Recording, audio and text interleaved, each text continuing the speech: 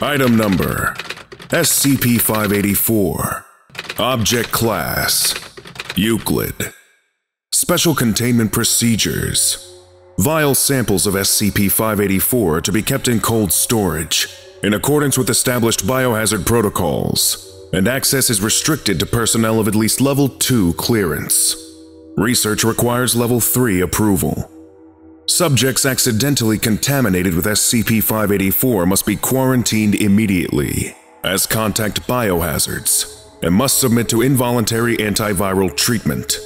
If subject shows no signs of lesion activity for 12 weeks and tests negative in two consecutive biopsies performed at 6 and 12 weeks following exposure, quarantine procedures can be downgraded. Follow-up biopsies at 12 and 24 months must also return negative results before the subject is to be considered clean. Any subject with a positive test for SCP-584 or displaying characteristic lesions should be terminated. Description SCP-584 is a highly infectious viral pathogen that, if left untreated, causes a disfiguring overgrowth of supernumerary limbs See file photos. Structurally similar to the herpes simplex family of viruses, SCP-584 spreads via direct person-to-person -person contact and through contact with infected bodily fluids, and can also cross the placental barrier from an infected mother to her fetus, resulting in characteristic birth defects. SCP-584 typically lies dormant, deep in the dermal tissue of those infected, largely suppressed by the immune system except for sporadic outbreaks. It is estimated that upwards of 80% of those exposed to the virus are asymptomatic carriers, making actual infection rates unknowable. Current estimates place the highest rates of infection in Asia, particularly India and China, where the virus likely originated. The virus appears limited to humans. An outbreak of SCP-584 typically begins with the appearance of a small, around 2 centimeter, painless lesion, mostly common on the extremities.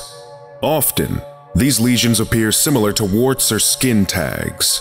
If not removed, the lesion will quickly grow to resemble a fully functional, though often undersized, appendage.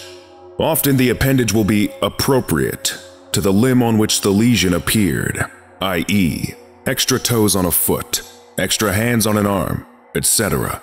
But severe outbreaks can trigger severely disfiguring chaotic lesion formation elsewhere on the body, such as the head and torso. Lesions can appear singly or in groups. Notably, SCP-584 has been shown to be able to regenerate missing limbs or digits in subjects who lost them due to accident or congenital, non-genetic, defects.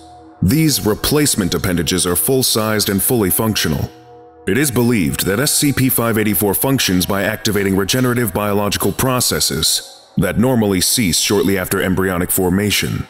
However, SCP-584's effect seems restricted to external organs and appendages only. Antiviral treatment is quite effective at limiting and stopping outbreaks of SCP-584, but currently, there is no cure for the virus, and it is highly communicable. Drug therapy has even been found to stop the growth of lesions in advanced developmental stages. However, it is not effective once the appendage is fully formed. Surgical removal of lesions is only effective in the long term, if coupled with drug therapy, as scar sites are prone to developing recurrent lesions.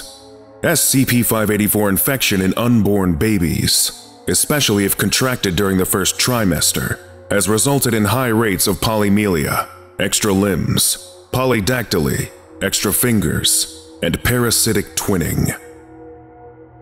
Lesson complete. If you missed the previous orientation, go watch SCP-583, Deathly Videotape, right now.